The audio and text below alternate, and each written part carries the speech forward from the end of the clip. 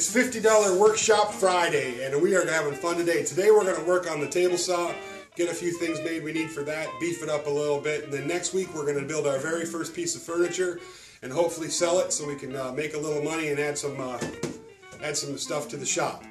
But I went out while you guys were, you know, hanging out this week waiting for the show. I went out and scavenged up a bunch of stuff. I got pallet wood behind me, some uh, OSB from a bunch of pallets, some, some other wood from a bunch of pallets, some furniture. I stopped and talked to a contractor about getting some wood, um, scrap wood that they're throwing away, and he said yes to come back. And I got to go back this week and pick that up. And then he was cleaning out the back of his truck when I stopped, and he gave me a can full of uh, wood screws and just all kinds of ins and outs that he had just laying there loose. I found a glue gun at a, at a um, yard sale, 50 cents.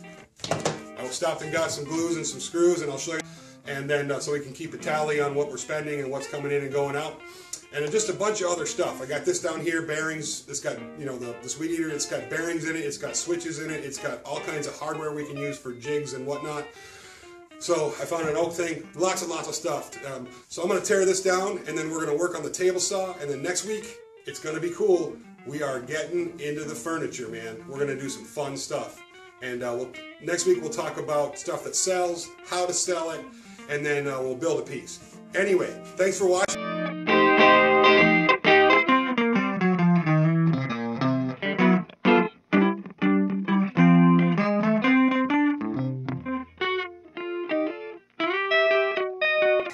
Behind me you see all the scrap wood.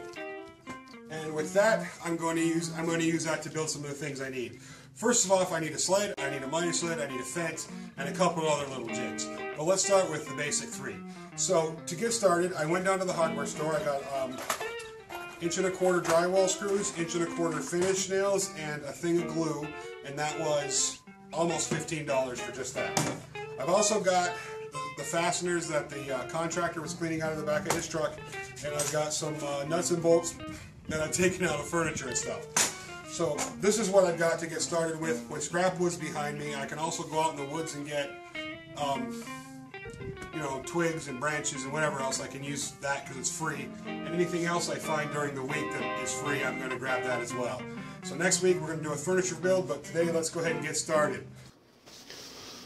Okay, so I just took a piece of scrap wood and I um, drilled a couple pilot holes in it, and I used that for a temporary fence to rip some runners down that'll run in the track. And I'm not going to go into great detail about the uh, building the uh, crosscut sled and the miter sled. I just did a video on that like a week ago. If you guys want to see it, I'll, I'll put a link in the description below about how you can see um, how I build uh, miter sled and crosscut sled, real real simple ones. And that's all I'm doing here. I'm just doing the same thing except for this time I've only got one track to run down instead of two. Um, here you see I'm gluing the uh, fence on the back of the crosscut sled. And I made that first because I, I can use the crosscut sled to help make the miter sled. I can also use it to help make the fence for this table saw. So after marking everything out I turned it over and ran some screws in it. And here I'm doing the same thing. I just uh, put it a runner in the track and I'm kind of squaring up the sled with the table saw a little bit and then running some screws in it. And I've already installed the 45 piece on there and I'm just uh, testing it now and it worked out well. So I started working on the sl on the uh, fence but my camera died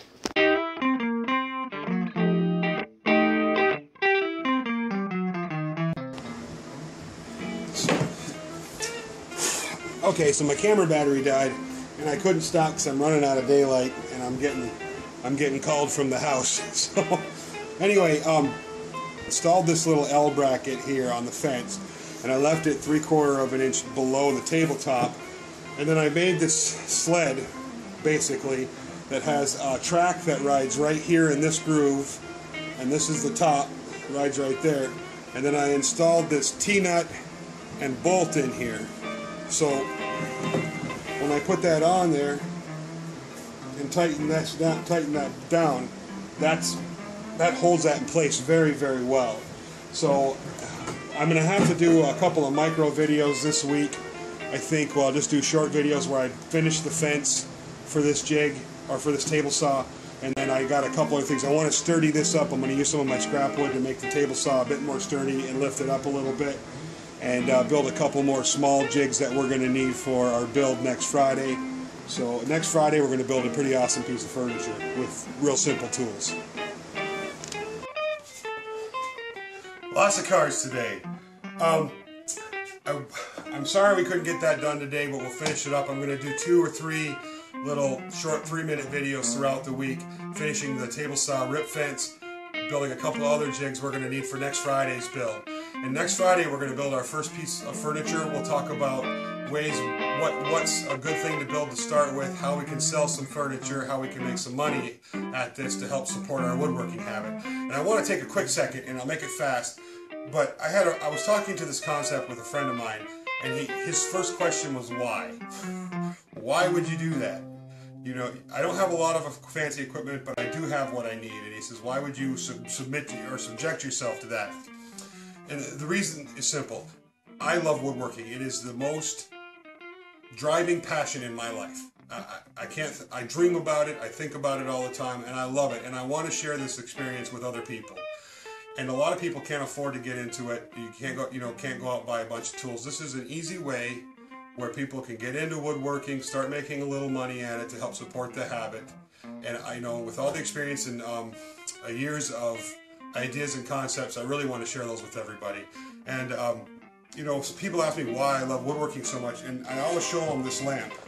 This is not a fancy lamp. This is a very simple lamp. It's a really cool looking piece of uh, juniper and a cherry base. And the guts from this are out of a, my, my son and I found the guts, the, all the parts for this at a, a auction, um, an auction house. We bought the whole lamp for a dollar. So all the guts came out of that lamp. Um, I have no money into this with the exception of a few bucks. But my son and I built this together and it is a beautiful piece. It's a simple, elegant, it's rustic, it, it has that natural flair that I'm really fond of. And um, I'll never sell this. But this is why I love it. My son and I made this. And for now until I die, I get to hold this in my hands. I can put it in my house and use it. I will always be able to look at this. I will always have that memory of building it, of sharing that time with my child, with my child. And that's what woodworking is to me. It's about sharing an experience with other people. And it always has been. I've taught a lot of people throughout the years, and I've really enjoyed the company of some pretty amazing men and uh, and women in the woodworking industry. And I really want to kind of reach out there and share that experience with everybody. And you know, people who are interested in this, I cannot stress you uh, stress to you enough. Don't wait. If all you have is a sharp screwdriver and a hammer, figure out how to do something and start.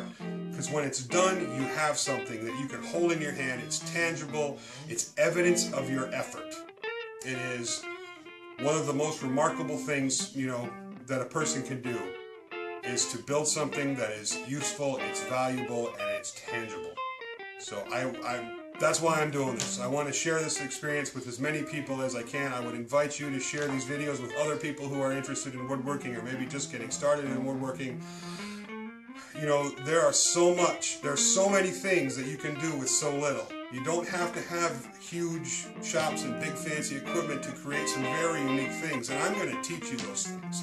I'm going to show you things over the next, you know, however long it takes that you will be able to do that will literally stun some people. When you see somebody come in and look at a piece of furniture that you built and they don't say anything, they just walk in the room and they go, that's when you know you did something cool. And you stick with me, I'll show you how to do it. You guys have a great night.